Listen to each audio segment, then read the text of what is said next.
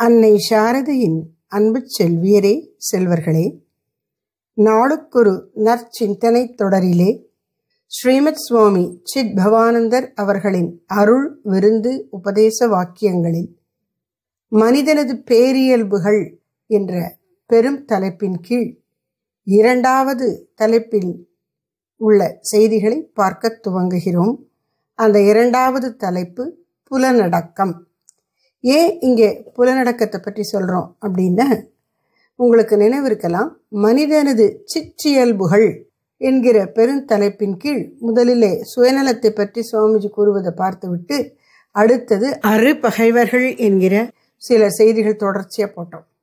மனிதனுக்கு உள்ள ஆறு பகைவர்கள் யார்? வெளியில் இல்லை அவன் மனசுலேயே இருக்கு. அந்த ஆறு பகைவர்கள் தான் காமம் குரோதம் லோபம் மோகம் மதம் மாச்சரியம் அந்த ஆறு பகைவர்கள் மனிதனது சிற்றியல்பு என்று சொன்னால் அவற்றுக்கு நேர் எதிரடையான ஆறு நல்ல குணங்கள் அல்லது பயிற்சியினால் நாம் வரவழைத்து கொள்ளக்கூடிய நல்ல மனநிலைகள் இருக்கின்றன.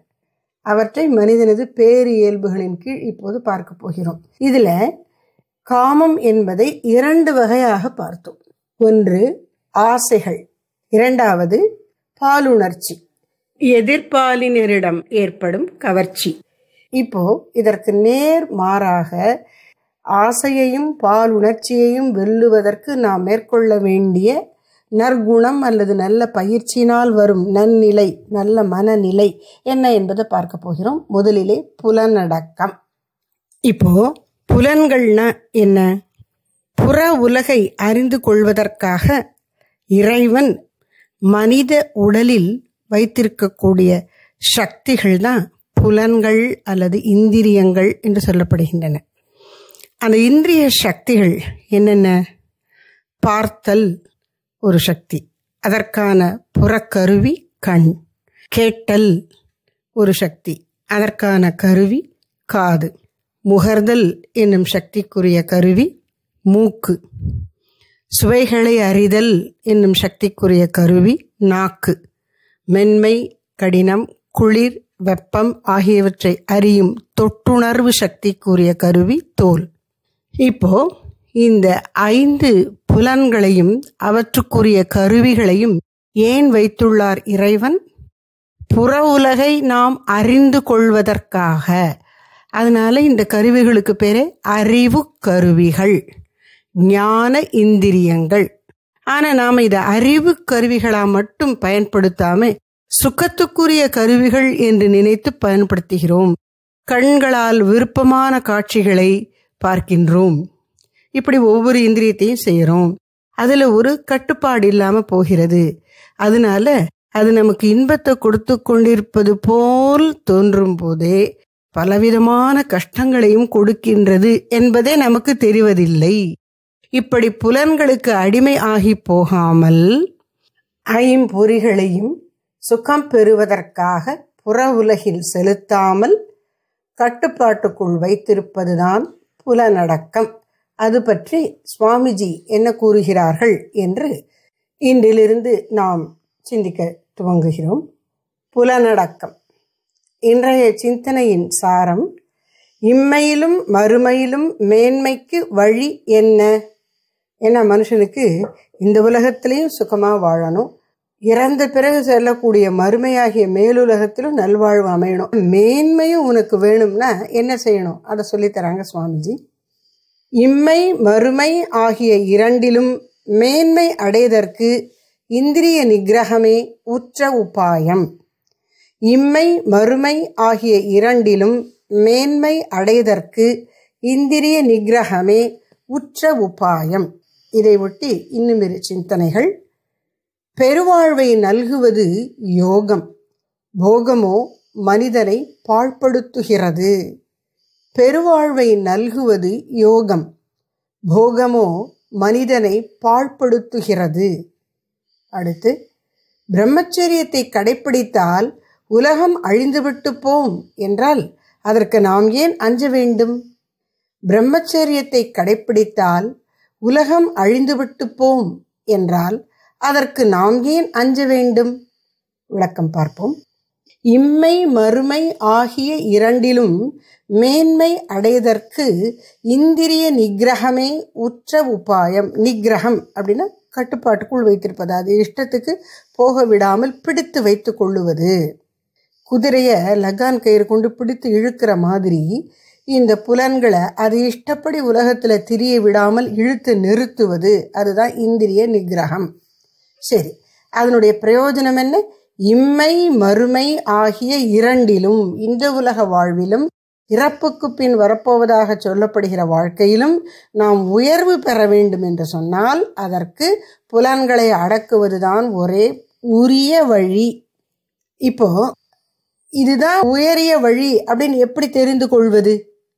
சுவாமி சித்பவானந்த மகாராஜிடம் ஒரு ப்ரொஃபஸர் ஜெர்மனி நாட்டிலிருந்து வந்தவர். அவர் கேட்குறார் ஆயிரத்தி தொள்ளாயிரத்தி அறுபது அந்த சமயத்தில் அப்போ இந்த ஹிப்பீஸ்ன்னு சொல்லக்கூடியவர்கள்லாம் நிறைய பேர் இருப்பாங்க. ஹிப்பின்னா அவன் இஷ்டத்துக்கு இருப்பான். ஒருத்தர் ஒன்றும் சொல்லக்கூடாது அவனை யார் சொன்னாலும் அவன் கேட்க மாட்டான். தலையை பரட்டையாக விரித்து போட்டுக்கிட்டு அழுக்கு ட்ரெஸ் போட்டுக்கிட்டு என்ன வேணாலும் பண்ணுவான். அவன் இஷ்டத்துக்கு இருக்கணும். அதுக்கு சுதந்திரம் வேணும். யார் என் சுதந்திரத்தை தடைப்படுத்தக்கூடாது. அது ஒன்று தான் அவனுக்கு தெரிஞ்ச ஒரே நியதி. அப்படி இருக்கக்கூடியவர் அவங்களெல்லாம் ஹிப்பீஸ்ன்னு சொன்னாங்க அந்த காலத்தில். அப்போது இப்படி இருக்கிறது பல பேருக்கு பிடிக்கல. சமுதாயத்தில் இளைஞர்களெல்லாம் இப்படி தருதலைகளாக திரியிறாங்களே அப்படின்னு. அதில் ஒருத்தர் இந்தியாவுக்கு வந்த பொழுது நம்ம ராமகிருஷ்ண தப்போவனம் திருச்சியில் இருக்கேன் அங்கேயும் பார்க்க வராங்க. அங்கே சுவாமிஜியை சந்திக்கும் பொழுது அவர் இந்த கேள்வியை கேட்குறார். இந்த காலத்து இளைஞர்களுக்கு இஷ்டத்துக்கு வாழ்வது தவறு ஒரு கட்டுப்பாடு வேண்டும் என்பதை எப்படி சொல்லிக் கொடுப்பது? புலன்களையெல்லாம் அடக்கி சென்ஸ் கண்ட்ரோல் கட்டுப்பாடோடு இருக்கணும்னு சொல்கிறீங்க அவங்களுக்கு அது பிடிக்கவே மாட்டேங்குது இளைஞர்களுக்கு. அவங்களுக்கு எப்படி கட்டுப்பாட்டினுடைய சிறப்பை உணர்த்துவது என்று கேட்டபோது சுவாமிஜி சொன்னாங்க.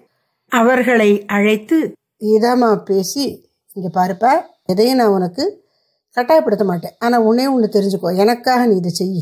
ஒரு மாதம் நான் சொல்லுகிறபடி கட்டுப்பாட்டோடு வாழ்ந்துப்பார் அதுக்கப்புறம் நீ இஷ்டப்படி இரு. இந்த ரெண்டுலையும் எப்போ நீ நல்லா இருந்த நீயே பார்த்து கண்டுபிடிச்சிக்கோ அப்படின்னு சொல்ற கருத்து என்ன அப்படின்னா கட்டுப்பாடான வாழ்க்கையின் புலனடக்கத்தின் நற்பயனை நேரில் அனுபவிக்கும் போதுதான் ஒருவனுக்கு புரிந்து ஏற்றுக்கொள்ள முடியும். லேர்னிங் பை டூயிங் தானே செய்வதன் மூலம் கற்றுக்கொள்வது. அப்படி செஞ்சா என்ன புரியும்? இந்திரிய நிகிரகமே. இம்மை மறுமை ஆகிய இரண்டிலும் இந்த உலக வாழ்க்கையில நிறைய சம்பாதிச்சு நல்லா சந்தோஷமா இருக்கணும்னாலும் உனக்கு இந்திரிய நிகிரகம் வேணும். ஏன்? அடுத்த இதை பாருங்க. பெருவாழ்வை நல்குவது யோகம். உன்னுடைய வாழ்வை உயர்ந்தது ஆக்குவது யோகம். யோகம்னு சொன்ன மன அடக்கம் புலனடக்கம். போகமோ மனிதனை பாழ்படுத்துகிறது. போகம்னு சொன்ன கண் முதலான இந்திரியங்களை கொண்டு புற உலகை சுவைத்து அனுபவிப்பது. அதனை திரும்ப திரும்ப அந்த அனுபவிப்பதில் ஈடுபட்டால் அது உன்னை பாழ்படுத்தி விடும் இந்த கருத்தானது மிக அழகாக கட்டோபரிஷத்திலே சொல்லப்பட்டிருக்கிறது. யோகம் என்பது இந்திரியங்களை உறுதியாக கட்டுக்குள் வைத்திருப்பது. அதுதான் மனிதனுக்கு உயர்ந்த நலனை கொடுப்பது. அந்த நலனுக்கு பேர் ஸ்ரேயஸ். சுகபோகங்களில் இந்திரியத்தை ஈடுபடுத்தினால் அது அந்த நேரத்துக்கு இனிமையை தருவதாக இருக்கலாம். ஆனால் பிரேயஸ் ஆகிய அது உன்னை நல்வழியில் அமைதியில் உண்மையான சுகத்தில் அழைத்து செல்லாது. அப்போது ஸ்ரேயஸ் ஒரு பக்கம் உன்னை அழைச்சிட்டு போகும். நீ பிரியம் தருவதை செய்தால் அதாவது இந்திரிய சுக்கங்களை அனுபவித்தால் அது இன்னொரு திசையில் உன்னை அழைத்து செல்லும். நீ போய் பார்த்தப்புறம் தான் எது கஷ்டம் எது சுக்கம்னு தெரியும் அப்படின்னு சொல்கிறாங்க அப்படின்னா என்ன அர்த்தம்? இந்திரியங்களை அதற்குரிய பொருட்களில் அதாவது கண்களால் காட்சிகள் கண்டுகொண்டே இருப்பது காதால் பாட்டு கேட்டுகிட்டே இருக்கும் அது இப்போ எப்படி கேட்குறோம் காதுக்குள்ளதை சொருகிக்கிட்டு கேட்குறான் டூ வீலர் அதெல்லாம் ஓட்டும் போது கூட காதில் வச்சுட்டு கேட்டுக்கிட்டே போகிறான் அப்படி காதில் திரும்ப திரும்ப திரும்ப சப்தம் விழுந்து கொண்டே இருந்தால் என்ன ஆறுது? இந்த பப்ஜி போன்ற விளையாட்டுக்கள் எல்லாம் செல்ஃபோனை வச்சு திரும்ப திரும்ப விளையாடி சின்ன குழந்தைகள் அதற்கு அடிமையாகி அப்புறம் அதுக்கு உடம்பு முடியாமல் போய் அது மாதிரியே செஞ்சிட்ருக்கான் அந்த விளையாட்டில் எப்படி ஷூட் பண்ணுறான் அது மாதிரியே கை அசிச்சுட்டு இருக்கான். அவனும் மயங்கி போய் ஆஸ்பத்திரியில் கிடக்கான். தன் நினைவு இல்லாது இருக்கும்போது கூட அவன் அறியாமல் அந்த கைகள்லாம் அனிச்சை செயலாக செய்யுது அப்படி. எவ்வளோ தூரத்துக்கு அவனை உடலை உள்ளத்தை அடிமைப்படுத்தி விட்டது இதில் என்ன சுகம் இருக்க முடியும்? அப்போ போகம் மனிதனை பாழ்படுத்துகிறது. இப்படியெல்லாம் சொன்ன உடனே நீங்கள் கட்டுப்படுத்தணும் கட்டுப்படுத்தணுங்கிறீங்க. இதெல்லாம் வந்து இயற்கைக்கு முரணானது தெரியுமா? இயற்கையினுடைய திட்டம் என்ன? ஆணும் பெண்ணும் கல்யாணம் செய்து கொண்டு குழந்தைகளை பெற்று சுக்கமாக இருக்கணும். அதுதான் இயற்கையின் திட்டம். அதனால பிரம்மச்சரியம் என்பது இயற்கைக்கு மாறானது. அப்படி பண்ணினா இப்படி அடுத்த சந்ததி உருவாகும் வாழும் உலகமே நின்று போயிடுமே அப்படியெல்லாம் சில பேர் கேட்பாங்க.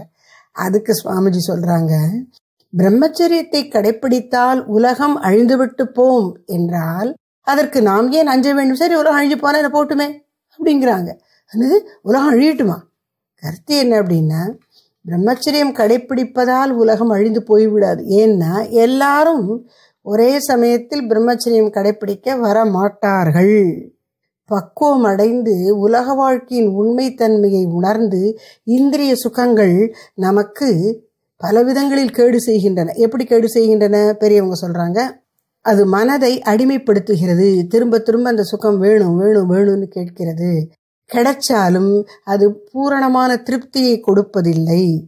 அது எந்த இந்திரியத்தை கொண்டு சுகத்தை அனுபவிக்கிறோமோ அந்த இந்திரியமானது தன் வலிமை இழந்து பாழ்பட்டு விடுகிறது. மனது இந்திரிய சுகத்தை அனுபவித்து அனுபவித்து கூர்மை இழந்து உயர்ந்த விஷயங்களை சிந்திக்க தகுதியற்றது ஆகிவிடுகிறது.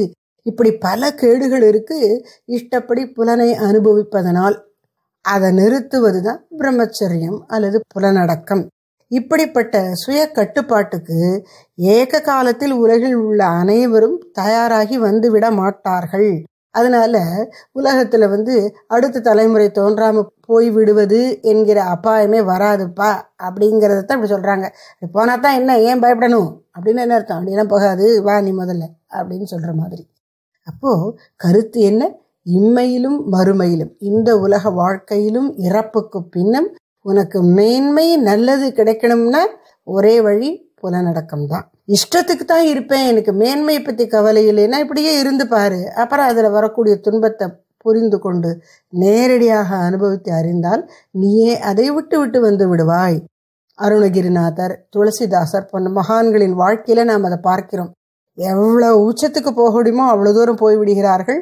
இந்திரிய சுகம் அனுபவிப்பதில்லை. அப்புறம் அது கேடுகட்டது என்று வாழ்க்கையில் நேரடியாக அனுபவித்தவுடன் அதை முற்றிலும் துறந்துவிட்டு திரும்பி விடுகிறார்கள். அதனால் இம்மையிலும் மறுமையிலும் நம்முடைய மேன்மைக்கு வழி புலனடக்கமே. இம்மை மறுமை ஆகிய இரண்டிலும் மேன்மை அடைவதற்கு இந்திரிய நிகிரகமே உற்ற உபாயம். அடுத்து பெருவாழ்வை நல்குவது யோகம். போகமோ மனிதனை பாழ்படுத்துகிறது. அடுத்து பிரம்மச்சரியத்தை கடைப்பிடித்தால் உலகம் அழிந்துவிட்டு போம் என்றால் அதற்கு நாம் ஏன் அஞ்ச வேண்டும்? ஜெய் ஸ்ரீ சாரதா மகாமாயி கி ஜெய் ஜெய் ஸ்ரீ சத்குருநாத் மகராஜ் கி. ஜெய்.